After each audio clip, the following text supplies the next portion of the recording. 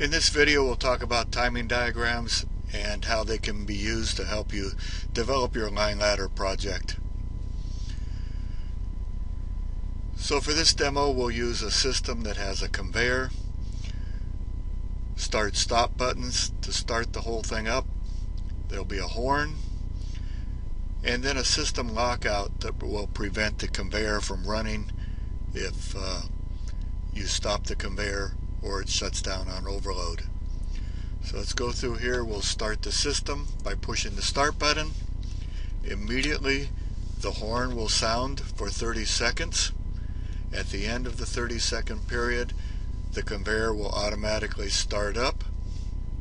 No further need of pushing an additional start button. And the conveyor will continue to run until such time as you push the stop button or an overload opens. At that point, a 45 second lockout period will start and that will prevent a conveyor restart. So anytime within that 45 seconds, the conveyor is unable to restart regardless of why it's shut down. If we look down here, you'll see the a momentary line for the start button indicating that it was pushed at this point here. At that point the horn turns on and you can see the horn is on and I have the cell width set to indicate 5 seconds per cell so it's 5, 10, 15, 20, 25, 30 so you can see the 30 seconds here that the horn is on.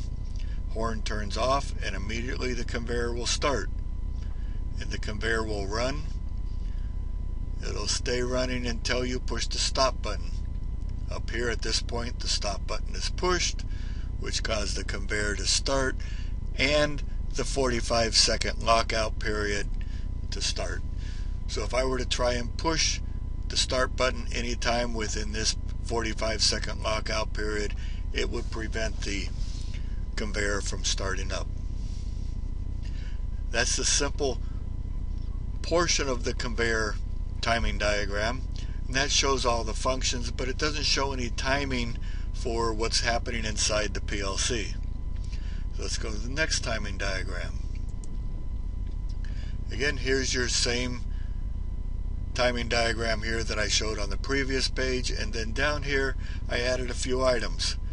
System run or sys run as I call it. It will turn on immediately when the start button is pushed and off when the stop button is pushed. That's what runs all of the items. Now if we run both our on delay and off delay off of sys run, makes things a little easier. So here's an on, a timer output from our on delay timer and you can see this is our delay period right here and at the end of that delay period the output will turn on and then it turns off immediately when the timer is disabled. Typical on delay timer. The delay occurs at the beginning, the output turns on, and then turns off immediately when the timer is disabled. Now the off delay is a little different. Its output turns on immediately and stays on and at this period here's our 45 second off delay. That's our time right here that the 45 second off delay takes place. So you, so you can see with an off delay timer, it is going on entirely the entire time, time that sysrun is on plus an additional 45 seconds. Now we could do some things like starting the off delay over here once the on delay timer enables, but that just tends to complicate things. I'm trying to keep things simple. Now let's go to the next timing diagram. And you can see we added a couple of items. Start delay.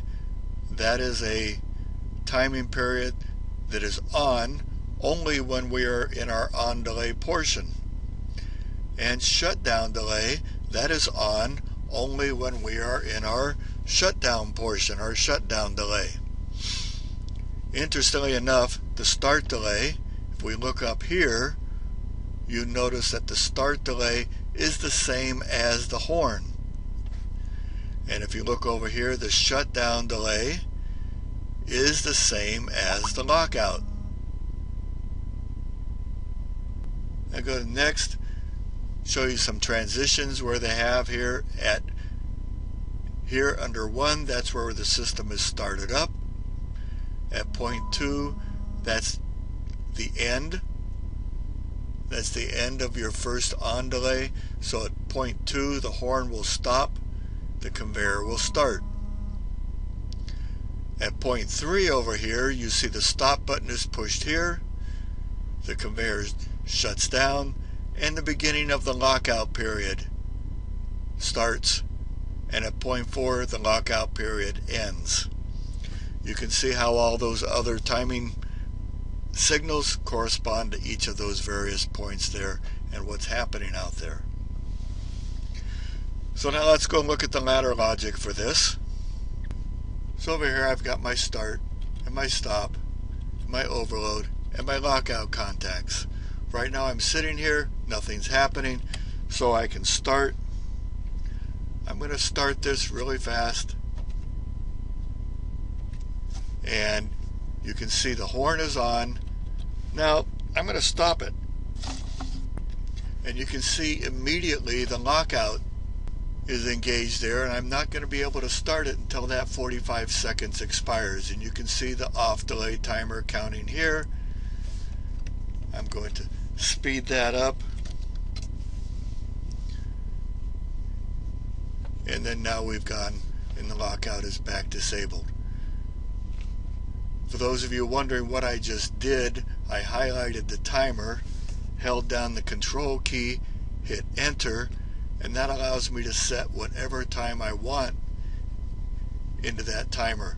That's the CV, the current value for the timer. Okay, then you hit enter again and that resets the timer.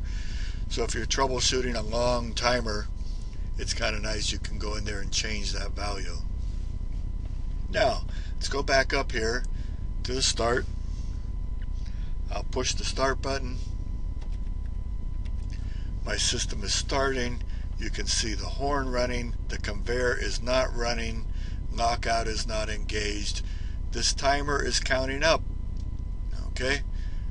On delay timer is not turned on yet. And down here, these two rungs are the same. So I am in sys run. The on delay has not turned on yet. And so the horn is on. And as soon as I, that timer gets to 300, now you can see my on delay timer coil is now on because the time has expired. And the horn shut off. Now over here, sys run, and the on delay time has completed the conveyor is running. Now if I hit stop, the on delay timer is going to shut down because sys run will turn off and remember that on delay timers immediately turn off when they lose their power flow. But the off delay, again, it'll lose its power flow, but the off delay will stay on to complete that 45 second lockout. So I'm going to come over here, toggle the stop. You can see I lost power flow to both timers. The on delay timer immediately went off, but the off delay timer is staying on. Sys run is off over here, so there will no, not be any horn output.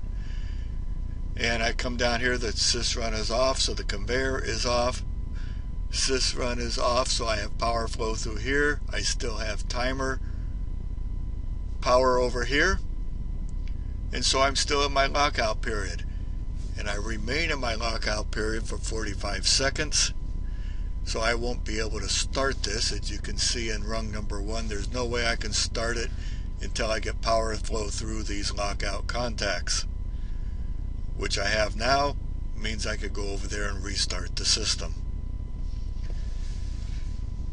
now I'm putting this together. I have my start delay rung, which is here, and you notice I'm using a memory coil. And that rung could be deleted because it is the same as the horn. So I could delete rung number 6. It's not needed. And the same thing is down here with rung number 13, my shutdown delay. It's the same as my lockout, so that's not needed. Those two, those two coils are shown only because they correspond to the timing diagram in the development of all of this. So that's it.